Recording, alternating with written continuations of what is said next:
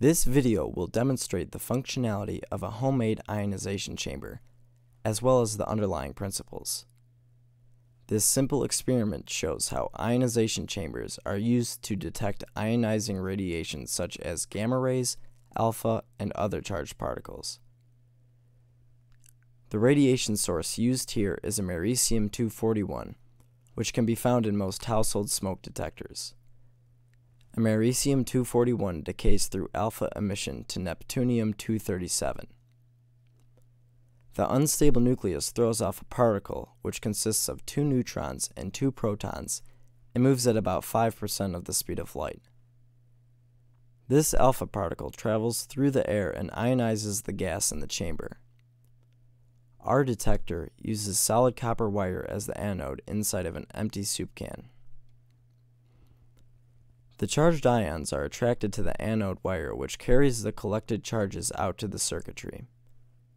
Driven by the power of a 9 volt battery, the anode signal moves through two transistors in the Darlington configuration to multiply the signal so it can be read on the multimeter, as the signal would be out of the detectable range of the multimeter without amplification. Alpha particles can only move through a few centimeters of air, so we will have to move our source close to the anode wire.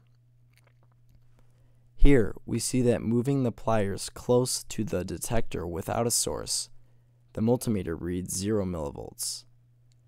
When the source is placed near the wire, we see a reading of 1.2 millivolts.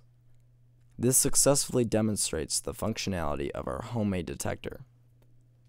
As a control, if the pliers were to accidentally touch the anode, as seen here, the readings would spike up drastically. Using a similar detector, Otto Frisch was able to detect fission in 1939. He noticed that if a neutron beam was directed at a sample of uranium or thorium, the nucleus would split apart into two large chunks.